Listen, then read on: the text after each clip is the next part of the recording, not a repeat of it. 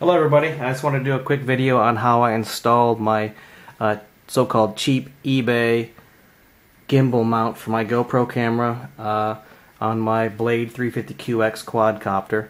Um, as everybody knows out there, there's a bunch of these uh, cheap uh, eBay uh, gimbal mounts for sale, and they're you know under $100. This one's the black one. Most of them are in silver, but they're the same thing. It's aluminum. Um, here it is on the on my blade. It's powered up.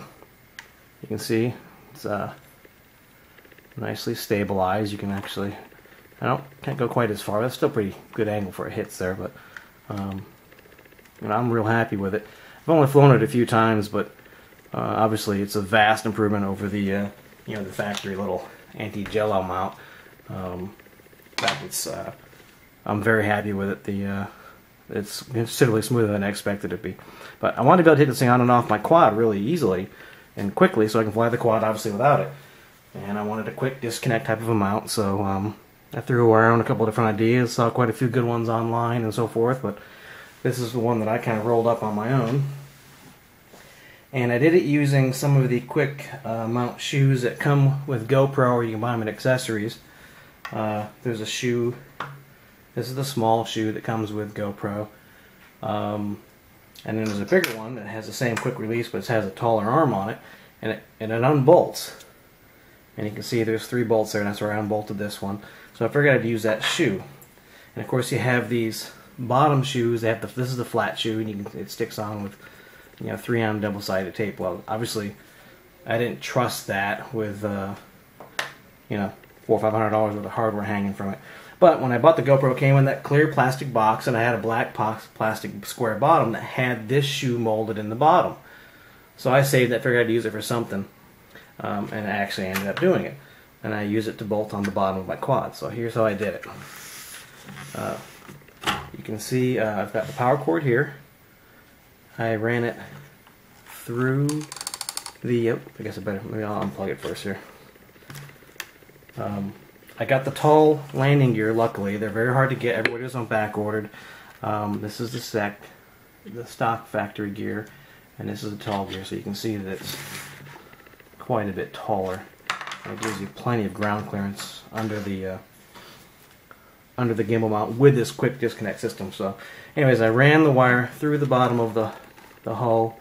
There is a recess area here in the gear for wire, so it worked perfect. So I utilized that ran it up into the body, and I use a uh, balance plug to plug in and get the power from the balance port on the battery.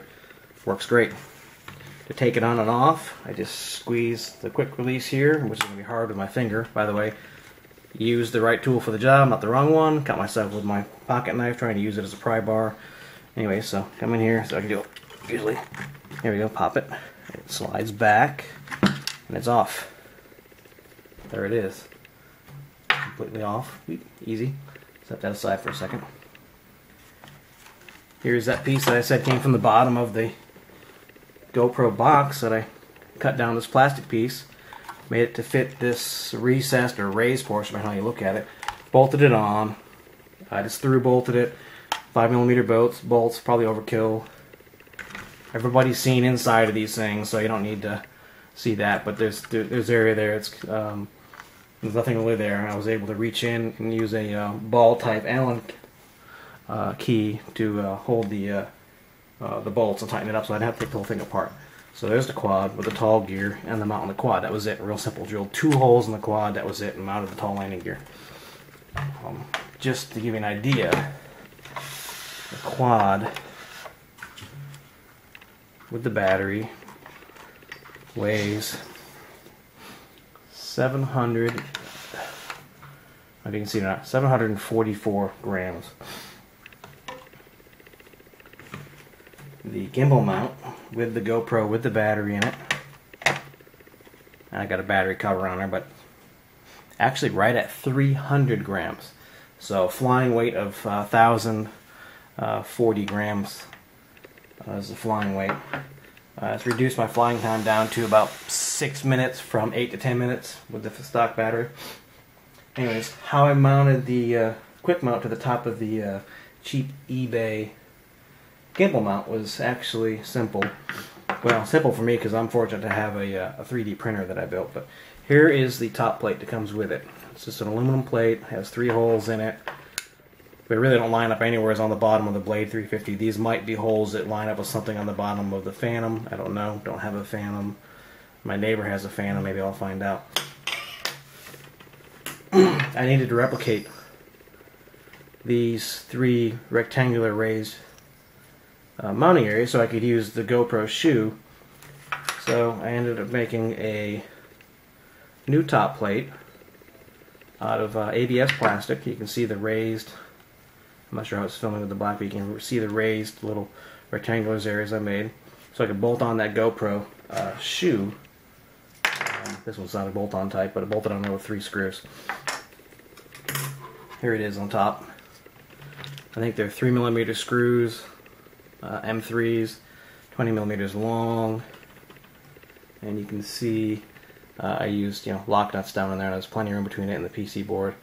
Uh, I didn't want to use the uh, uh, GoPro uses a uh, some self-tapping screws in here. Obviously, I didn't trust that with this much weight hanging on it.